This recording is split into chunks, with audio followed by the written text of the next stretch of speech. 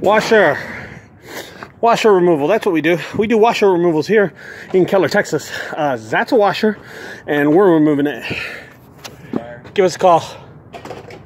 Holy cow it's a dryer. Never mind give us a call 214-777-3095 $45 flat fee to remove a dryer in keller texas guys. Uh, daily appliance that we remove. We remove fridges for the same price, washers, dryers for the same price, even TVs, any size TV for the same price.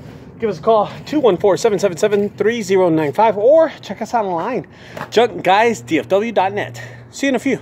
Book online.